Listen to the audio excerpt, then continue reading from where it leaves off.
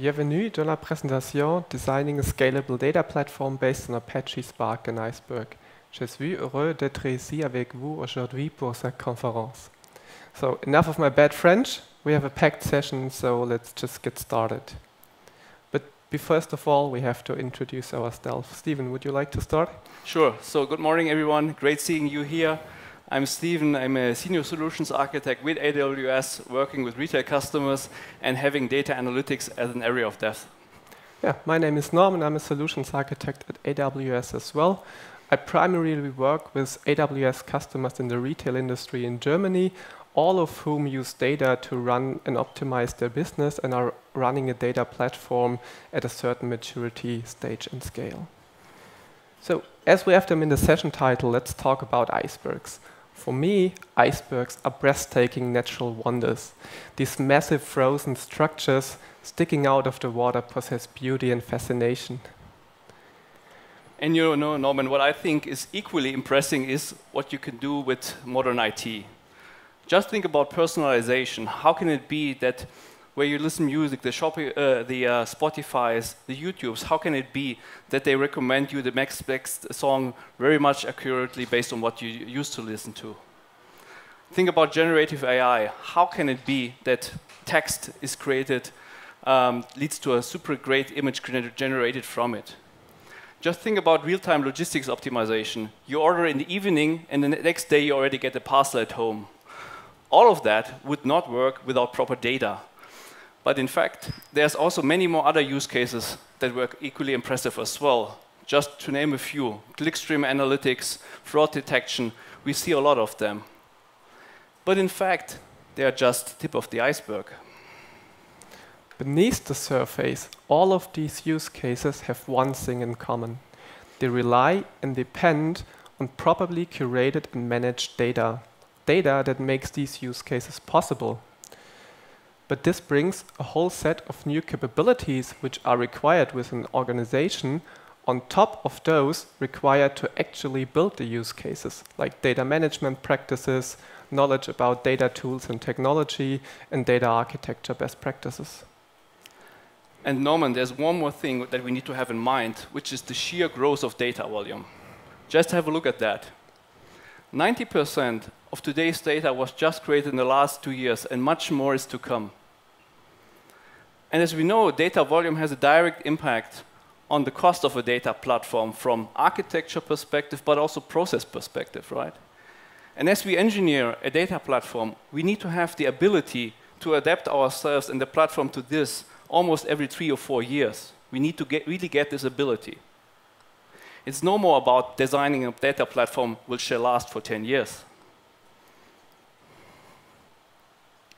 So to get the beautiful glittering above the surface that everybody wants, we have to get the heavy, sometimes dark stuff below the surface right as well. However, this is where frequently things get off track already. But keeping you on track is our mission today. We will start with a history of data platform architectures in the past 20 years, connecting the dots for you and outlining which generation had which capabilities and which challenges. And in part two, we will then give you the ingredients to develop a blueprint for building or modernizing a data platform, which is based on our experience from startup to enterprise customers and which could cover at least 80% of use cases out there. And along the way, we will give you five design principles together with five technical learnings which, you, which could guide you and help you on your day-to-day -day data adventures. So when I joined the industry, the data platform architecture typically looked like this. We had data sources, which were typically transactional databases from ERP systems or warehouse management systems. And we had ETL processes, which are pieces of code which extract the data from these sources, transform it to make it fit, and load it into a central data warehouse. And these processes typically run once a night, and we're ingesting data in batches into the data warehouse. And then, on top, we had our analytical data users, like Jake from sales, or Alice from finance looking at aggregated data through reports and dashboards.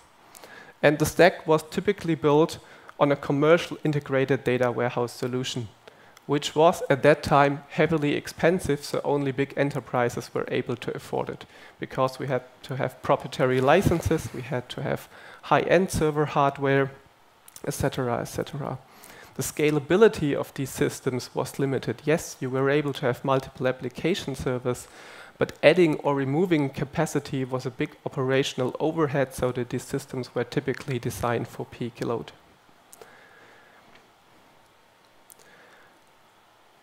And the question we have to ask is were our data users happy with the systems from these times?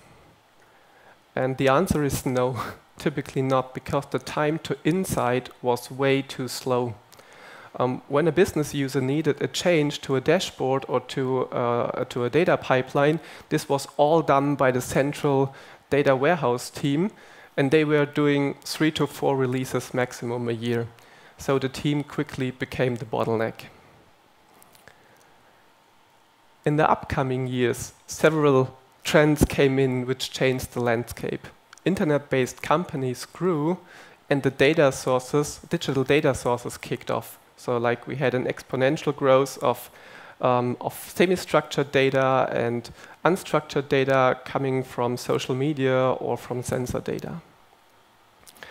And now the data sets did not fit into a single machine anymore, and the relational database management systems from the data warehouses were not able to keep up with that anymore. And this challenge, or this was the time when the industry coined the term big data, which finally led to the data lake architecture. And out of that, we had some paradigm shifts that we're, we were going into now. So to handle the large volumes of data, we develop distributed file systems and the corresponding distributed processing engines on top like MapReduce. And due to the success of open, early open source projects like Linux, um, a new, more open source-backed ecosystem arose like the Hadoop uh, ecosystem. And in terms of hardware, the economical part of the equation switched from those high-end servers to more commodity servers, and we were now building um, our systems to horizontally scale instead of vertically scale.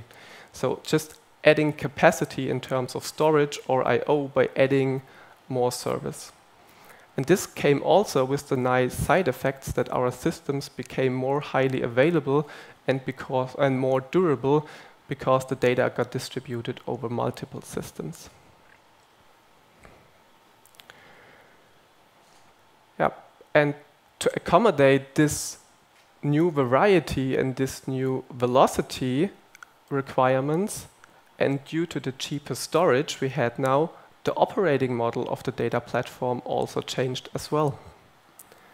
In the data warehouse, this was a very exclusive club only data that was in a certain very specifically narrow shape was allowed to come in. So all visitors needed to fit rigorous standards. It was very exclusive.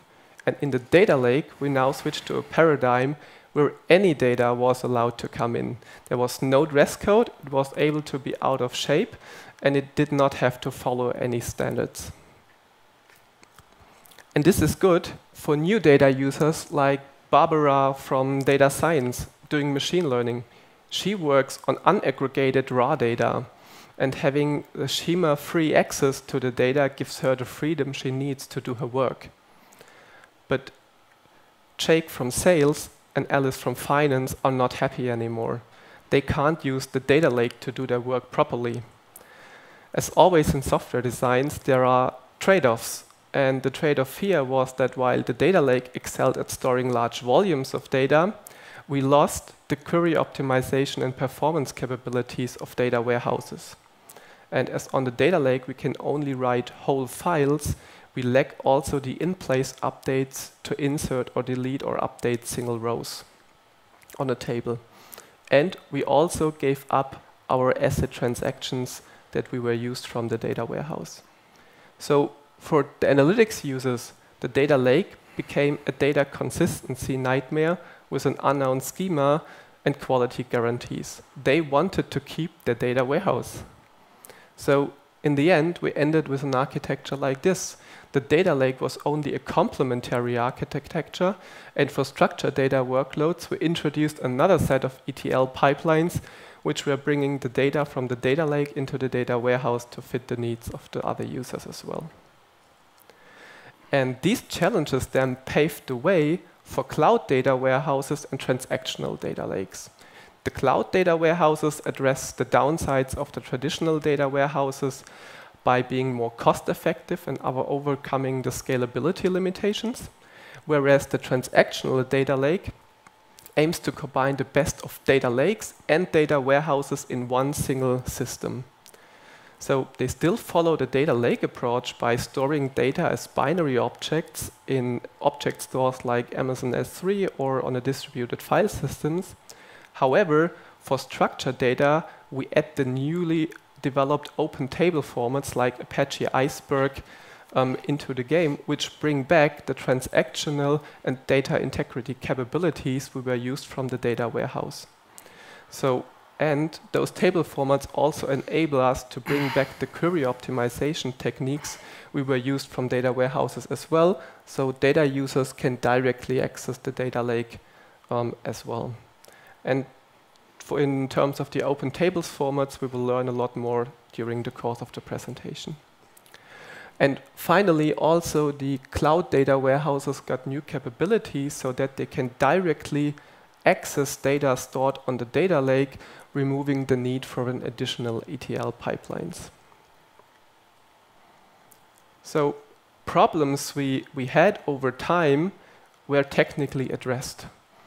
But we got more and more tools in our tool belts to solve our data challenges. And now we have a zoo of tools, and still many organizations don't get the insights they needed with this zoo of tools. And also we know with a zoo of tools, we typically have more problems. Um, because now we have to answer questions like, okay, where to get started, which tools to choose, what is each tool capable of, and how do I integrate all those tools. And that's what we want to do today. We want to put the burden of choosing away from you and connect the dots for you. And for that, I hand over to Stephen again. So, thanks, Norman. So then learn from the past and do it better in the future by designing a proper data platform. So first of all, um, I have a quick question to you. How many of you do know Apache Spark?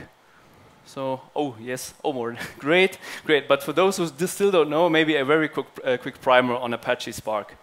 So it's a open source project um, uh, and or originally originated from the University of Berkeley in California. And Spark is in essence an in-memory computing engine and it's somewhat the de facto standard for big data processing and data engineering. Spark is great because it's very versatile. As we will see, you can use it for batch as well as for streaming use cases, and it is widely supported in the ecosystem, in the Java world, in the Scala world, in the Python world. You have integrations with many, many tools and frameworks. As it is a distributed system, obviously there are multiple components to it. Simplified, it looks as shown on the right-hand side. You have a driver component which takes your job, analyzes your job, and then tries to submit it in distributed parallel tasks to, on one-to-many worker components. As a developer, because I guess many of you are data engineers or developers, you might say, yeah, but how do I interact with Spark as I want to transform data, load data, write data some, to somewhere? And for this, in Spark, I write a, a Spark job, obviously. Here we have shown it in Python. So in a, the anatomy of a Spark job pretty much looks like this. You instantiate your Spark session through which your job has access to the uh, interact with the cluster. You can set certain global configuration variables and then somewhat connect to the driver component. Then you typically start off saying Spark read. You read from some source system. It could be a table on a data lake, as we have shown here in this example. We are here reading the orders table you might um, read from a relational database or whatever sources you have. Then you have the code to transform the data. Uh, right after, you see in this um, fluid style how you can do this. Here in the example, we are selecting a certain uh, selecting two columns, category and amount, and then running some transformation on it, running an aggregation, a sum method, and grouping it by a certain column. And eventually rewrite it to somewhere. I mean, it is super simplified in essence, but this is how a Spark job could look like. As you have developed it, you submit it to the cluster, to the driver, and the driver will make sure that it's properly executed. So, but now with that, how would, would we start designing a data platform? And the first chapter we will be tackling is batch analytics. So batch analytics means once in a while, once in a night, once in a week, we process large amounts of data to do some analysis most common use case is some historic analysis. We want to compare sales month over month, year over year. So the question is now, how do we build a data platform that properly cater, can cater for batch analytics based on Spark and obviously on Apache Iceberg? And for this, the first guiding principle we have at hand for you is to have a mental framework when designing a data platform, it's really not about tool shopping. This is the worst thing that you can do. Just finding tools that you can plug so together somehow. It's really not about that. It's really to have a mental framework. What is actually the capabilities a data platform that a data platform should have, and then deliberately, based on your requirements, fill those uh, uh, uh, those various layers. In a simplified way, at least my or our mental model, data platform looks like this. It has an ingestion part, it has a transformation and obviously storage part, it has a serving part, and then it has some cross-functional orchestration and metadata management parts.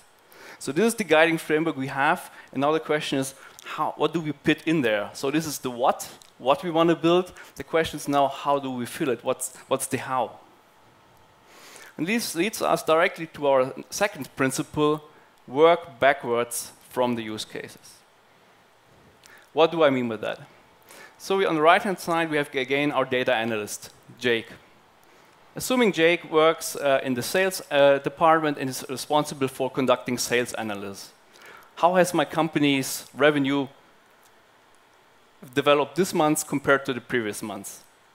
This is Jake's task. This is what he needs to solve. What does he need to start with?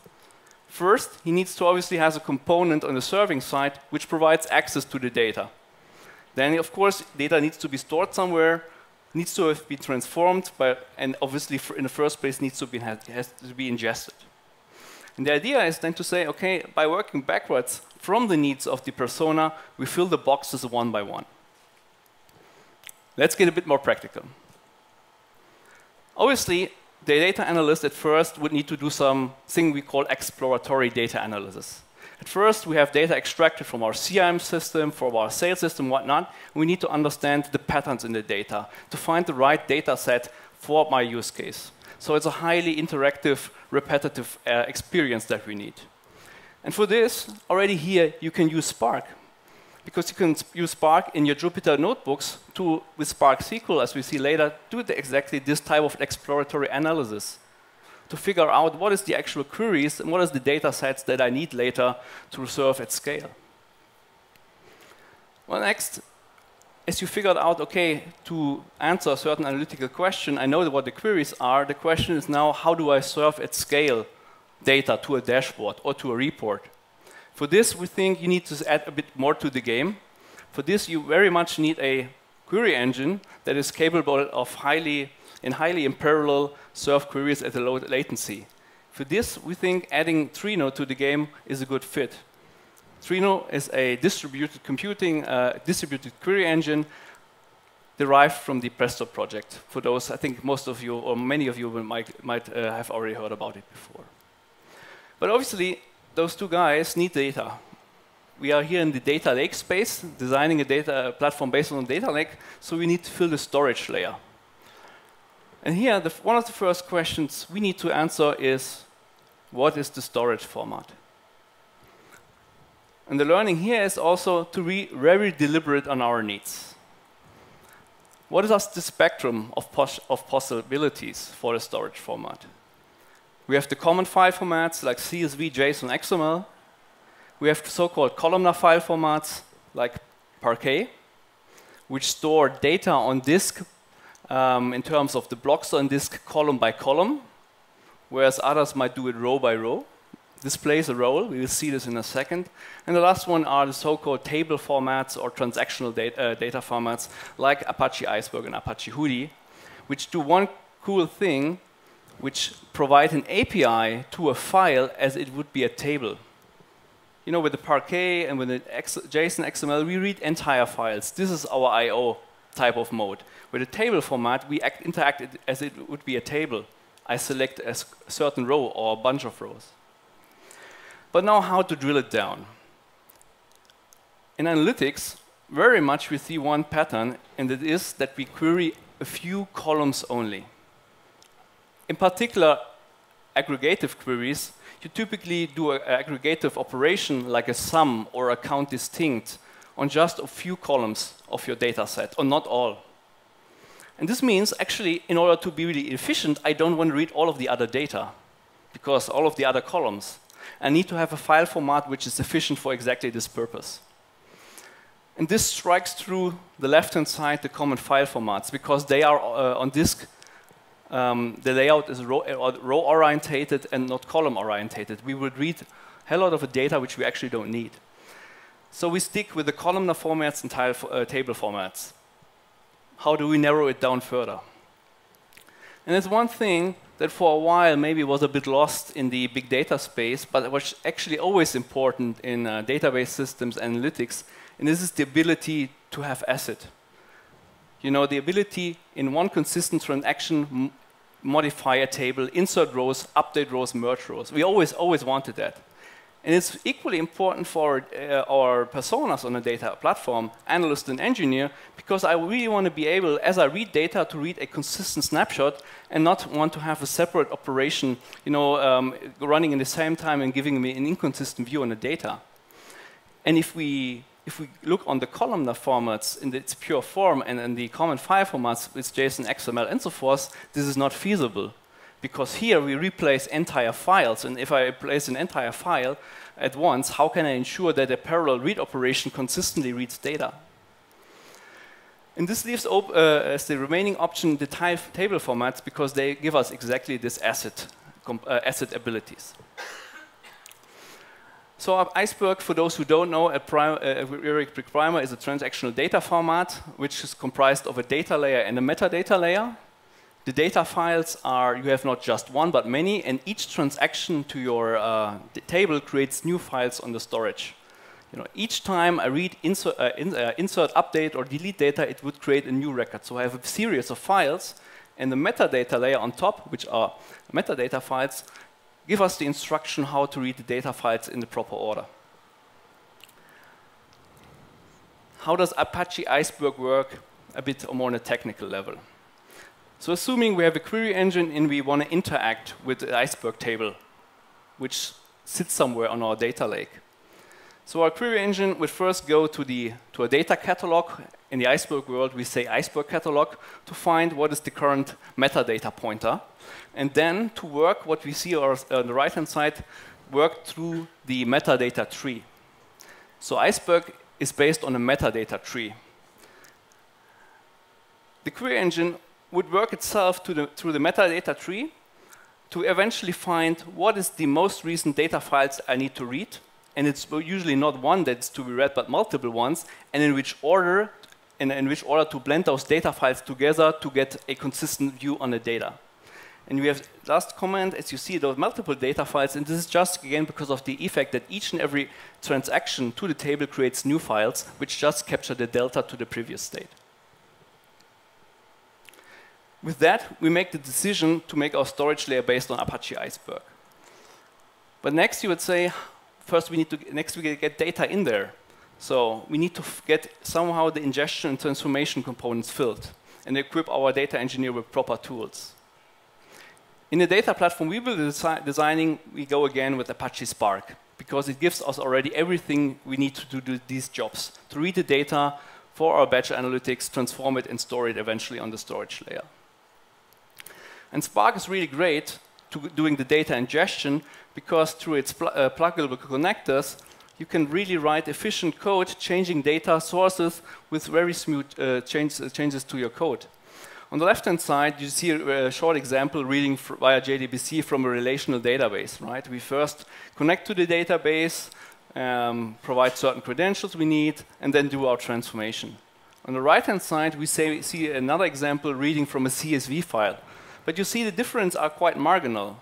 So Spark is great in the sense that changing data sources and also uh, data sinks just require uh, very few changes to your code and gives us a data, as a data engineer a very consistent experience.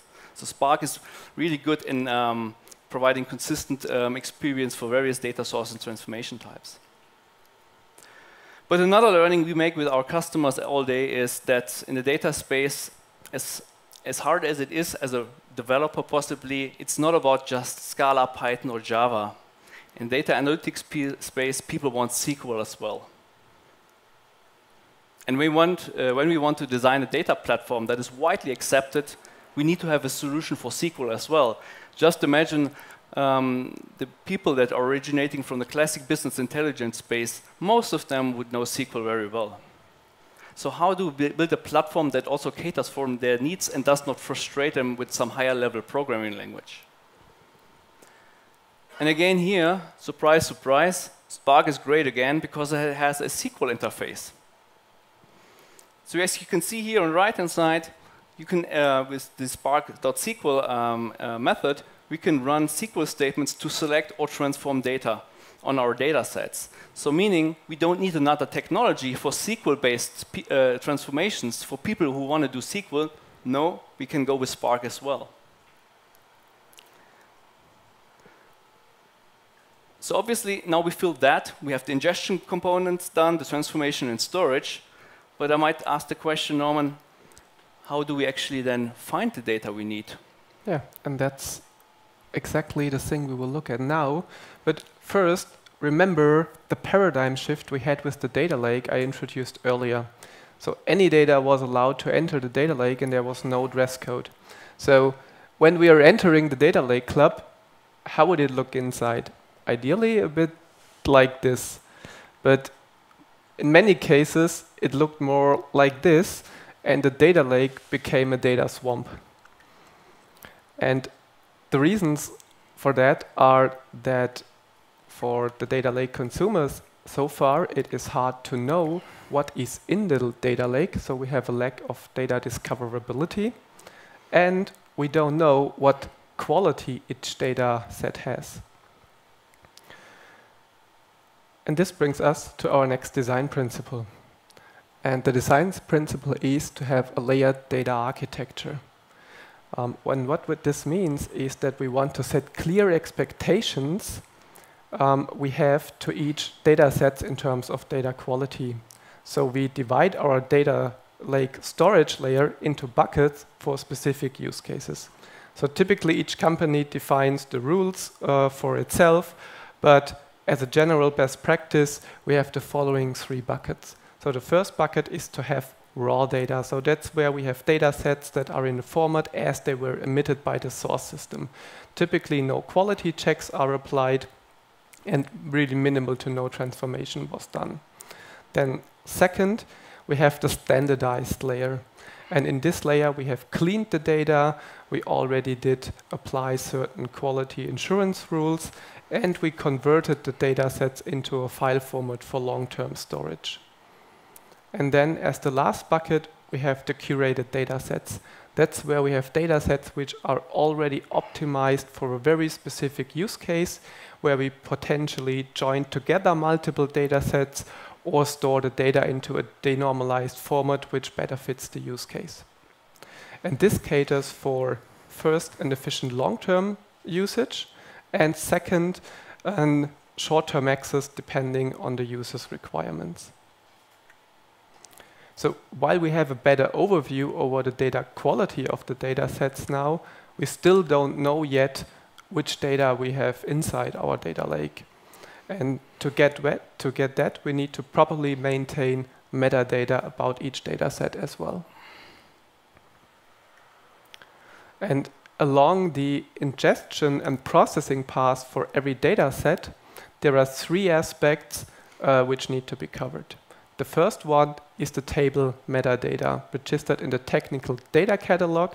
We already heard when we were going through the, the iceberg layer, like Hive Metastore or the AWS Glue data catalog. So the technical data catalog on the data platform is now the counterpart to the information schema of, for example, a data, relational database management system. This is where we register the table. This is where we store which columns are there and which data types each column has. And the second metadata layer which is needed is the lineage data.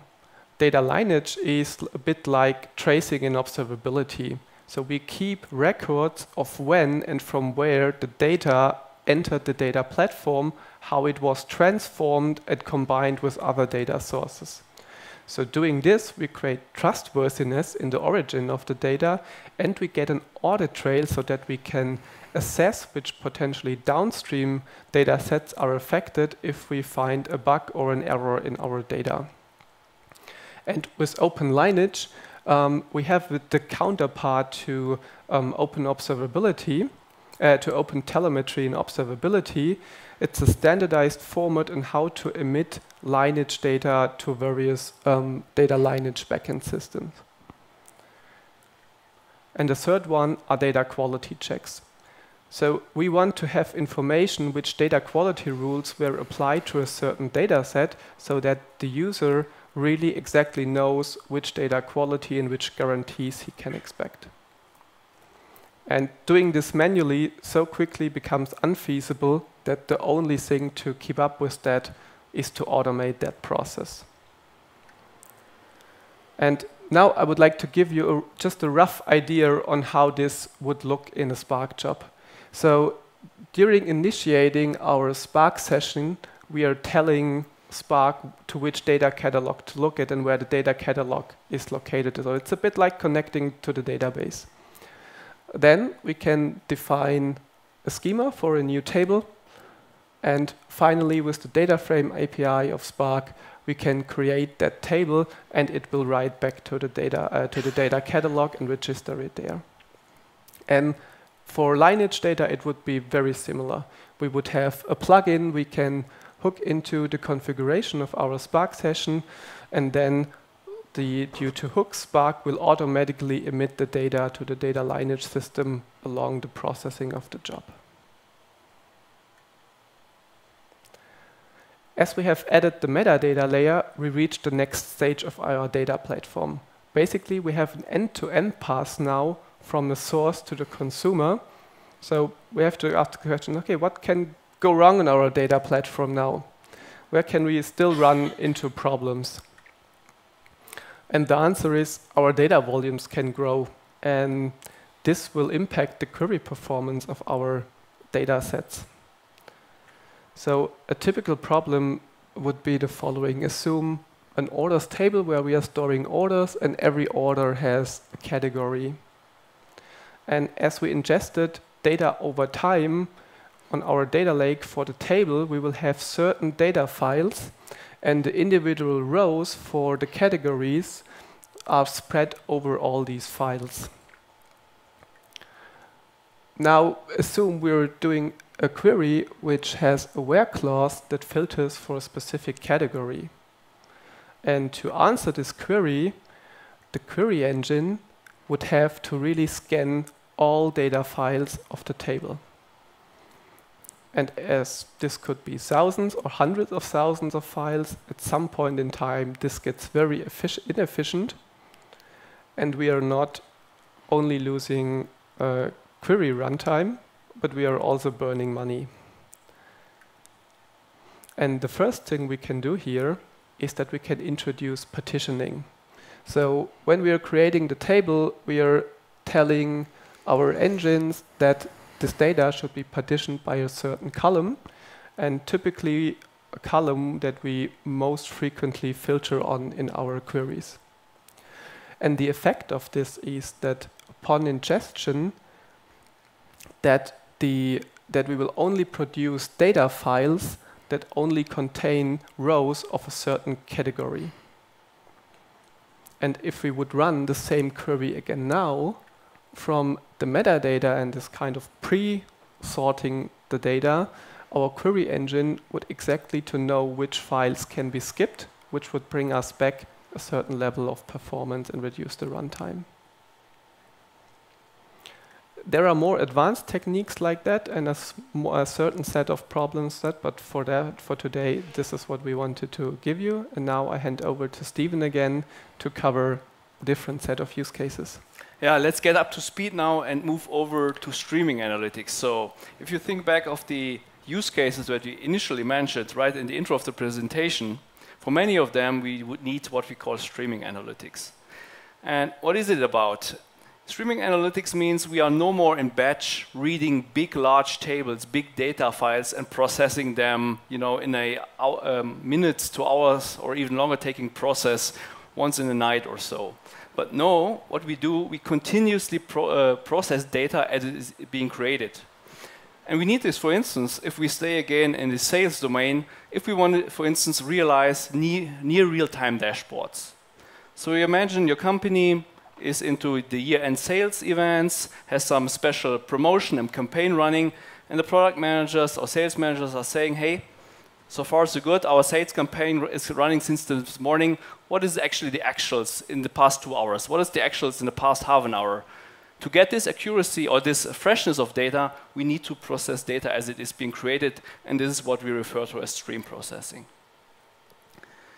Finally, here, as an architect, I find myself also often here, could be trapped yet to go now, what is the coolest tool around the block that I need to have here? Streaming, cool thing, now, now really get the best what we need. And not caring what we already have. And this is really the trap that you as an architect could make, right? You want to actually but actually, your job is it to ensure that you stay what we have here on the right side, the easy solution. But because of many interests, you could easily move to the left side here, the hard solution. So we say, really, also here as an architect, finally, if you come to this point, really keep it simple and short and try to stay with fewer tools uh, uh, uh, as possible. You know, the fewer tools, the better. And that's why we see, say start, if you already have a data platform based on Spark for batch transformation, batch analytics, use it for streaming as well. I mean, I don't know um, if you, uh, how many know, but in Spark already has a second generation of stream processing called Spark Structured Streaming, which possibly gives us already all at hand what we need. So Spark Structured Streaming, what is it? Actually, is it's the extension of the existing Spark programming model on streams. Pretty much same um, or same or similar programming model, same data frame API we always know. How does it work? You know, have, if you think about your Spark job and the transformation steps, what you had, in the Spark stream, uh, structured streaming world, what happens is that you repetitively execute them as so-called micro batches on your stream. So this, let's assume this is your stream. It could be Kafka, it could be uh, Kinesis, or whatever you have. And Spark Streaming does say, let's take the first item, the first uh, record out of it, process it as a micro batch. Take the next one out, apply the same uh, transformations again, process it. Take the next one out and do this every two seconds, every five seconds. You can configure this, but this is in essence how Spark structured streaming works. And what is great about it is if you wanna, if you're someone who wants to easily conquer technology, it is that it's very easy or relatively easy to move as a Spark batch developer to a Spark streaming developer. Let's have a look on this example here. The left-hand side is the Spark batch world. The right-hand side is the streaming world. There's just a few, I mean, the code looks very similar, right? There's just a few differences. Instead of a read, I will have a read stream. Instead of a write, I have a write stream. Obviously, I need to have some other configuration parameters, like, for instance, to which Kafka broker to connect, to which topic to connect, if I connect with Kafka. But pretty much what, what, uh, what we want to give you at hand is that with Spark streaming, you have a relatively low learning uh, or flat landing curve for your engineers if you want to introduce Spark, uh, if you want to introduce streaming to a data platform that is already based on Spark. So it's really great because you have a consistent programming model, same, um, same or similar APIs, same and consistent feeling as a developer. But if we bring together in the streaming world transactional data formats, where, as I said, each and every transaction creates a new file. You know, I insert a record, new file. I insert another file, hey, re record, new file. I end up with such a situation. Many, many small files, bytes, kilobytes range, 100,000 of that just spoke to a customer last week which said it had like two millions in the range of millions of files.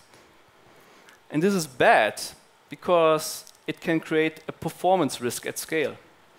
Imagine as your query engine wants to interact with your data set, it reads and open all of those small files. So a lot of I.O. in there because we need to read and open every of those small files. And this is something we really want to avoid in analytics. Solution to that, learning, might sound obvious, but many don't know, is to do the compaction. Think of your housekeeping and think of something that is called compaction. Compaction means we compact small files, many small files, in fewer larger files. Megabyte, maybe gigabyte, it depends on the profile of your storage and query engine. Typically, they have, there's some preferences in which ranges your files should be to have the best performance. But in essence, it's about compressing, or not compressing, collapsing small files into larger uh, big files. And the great thing about Apache Iceberg in combination with Spark is that Apache Iceberg gives us already out of the box all what we need to do the compaction with Spark. You see this here in this code sample, a Spark SQL again, where we invoke a system method called rewrite data files. This comes from the Iceberg library for Spark. And through this method, we can make the Spark engine compact our iceberg table, here in this case orders table, into larger files. We have specified, you see this at the bottom, as a target file size of one gigabyte. As we run this, and we can do this, by the way, in the background. We can continuously uh, continue to do the batch analytics or even streaming analytics in the background. We can do the compaction or in parallel, right? And we collapse the small files till we reach one gigabyte and then move on to the next larger file. And it's really crucial at scale to keep the performance and avoid the risk of getting performance degradation of small files. And again, I mean, we see in many customers, even advanced customers, who are not always the best here. So with that, I hope we are in consensus here. We have also filled now the last part on the ingestion side, the streaming ingestion side with Spark as well. But the question means, remains, how do we actually orchestrate that? Also the compaction jobs, who invokes them? Who invokes them at the right time? We need to have a component hand hand. Also the batch jobs. And that's why we want to fill now the management and metadata uh, layer on top. And here, to be very uh, short, we think Apache Airflow, staying in the open source world, could be a good solution. Apache Airflow is a uh, data pipeline orchestrator. So if you are more familiar with um, yeah, um, CI/CD, it could be the equivalent to your Jenkins or other build server, where you have instead of a build pipeline, you have a data pipeline which you orchestrate. But now, what happens if our business is successful, continues, more and more analytical use cases are being deployed to our Spark data platform, what happens? And one thing we need to remember, ultimately Spark is nothing else than a system that runs somewhere on a VM or a computer which has finite memory, which has finite storage, finite resources. And over time, right, sounds obvious, but we find ourselves more and more being um, required to deal with capacity management, adding new storage, updating our, our uh, system libraries. The more use cases we have, the more data and demand we have, the more and more we need to look into this. And again, but if this is the trend, we know that data will be more and more important in the future, right? If this is the trend, we need to ask ourselves as a data architect one question. Where do we want to spend time? On system maintenance or on building cool stuff? Do we want to juggle resources or do we have time to build the clickstream analytics, the fraud detection, the real-time fraud detection that really differentiates us from our competitors, from the other companies we are work, uh, working um, on the market with. And this is the last principle that we think that we should, as an architect, have in mind is to delegate undifferentiated tasks. Do you want to manage Spark software stack, Spark libraries, system libraries, all the CVEs, the log4js that come at right at the time that you don't want them, or do you want to have a managed Spark runtime which does this for you? Compute capacity is the same. What if we would have an engine which automatically deploys new resources, VMs, and removes them according to the spikes in our workload? Would be a great thing to have, no? Housekeeping, the compaction, and there's other stuff like vacuuming or creating uh, fresh statistics on our tables. What if we would have a data catalog which does this inbuilt for you, uh, for us? And we're no even more requiring to uh, invoke some system functions to do that. And lastly, storage. I mean, it's a given. I, I, I decided no more wanting to manage storage capacity at a certain point in my career, right?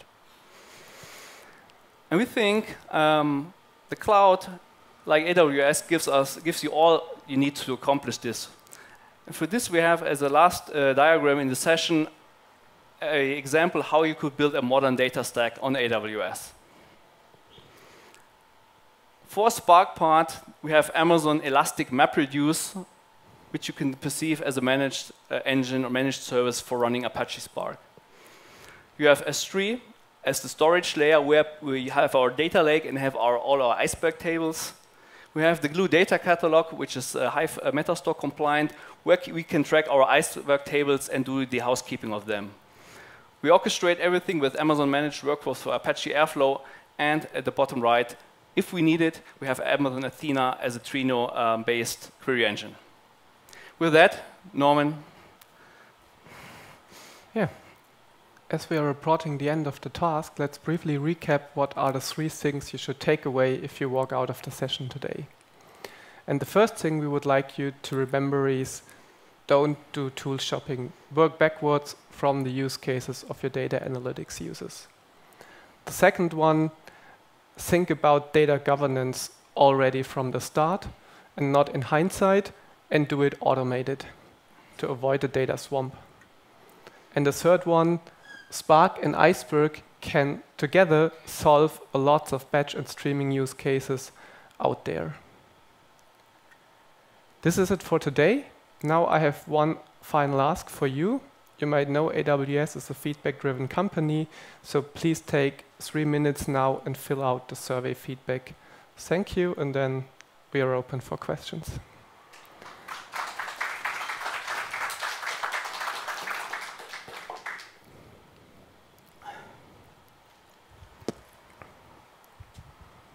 Uh, you chose uh, Iceberg, but have you considered Delta Lake? Yes. And uh, what comparison did you do? How did you choose? Can you please repeat? I didn't get it acoustically. You, you chose to go with Apache Iceberg, yes. but uh, my understanding is that uh, Spark often work with Delta Lake as well, Delta tables. So have you considered that? Apache Iceberg has a is a very emergent technology. Wide range, many companies, many vendors um, choosing it and it has advanced capabilities like, for instance, something we have not shown, um, partition evolution, time travel. This is great stuff. That's why we choose Apache Iceberg. So there are, as you said, there are several table formats out there, and we see Apache Iceberg as the one that is really getting traction in all ecosystems. So we see it as the one that will, let's say, really keeps the data you have open and having it accessible from various engines only uh, beyond even beyond Spark. So if you have really the zoo of tools, um, there is a, a, pretty good chance that, uh, let's say, more of the other engines you're using are also able to access the data table if it's in the iceberg format. Uh, first, thanks for this amazing presentation. Uh, I've got two questions. The first one about the transformation step for the uh, different jobs. Uh, does uh, Apache Spark supports the failure, like the on-job failure process, similar in Spring Batch? And the second question is about computing and auto-scaling. Does the solution fits into the container-based environment? If you are working in cloud native world fully everything in, on Kubernetes, for, for example, does it fit uh, in this environment or not? Thank you. Uh, yes, it does fit into the environment. So um, I can only speak for the AWS service. So AWS EMR has two operating modes. The first one is to, let's say, run your worker nodes on virtual machines, which is on AWS uh, EC2. But you also have the possibility to run your worker nodes on a Kubernetes cluster in AWS EKS. And the first question was about failure during stream processing. You know, you can have the so in the Spark streaming job, you can capture where you the offset where you stop processing and then continue, for instance, in failure case from this offset. And there's checkpointing also to know where do where do we stand. So we get the signals that we are over time. So if you have further questions, we will still be around outside after the session. So feel free to come us and talk to us.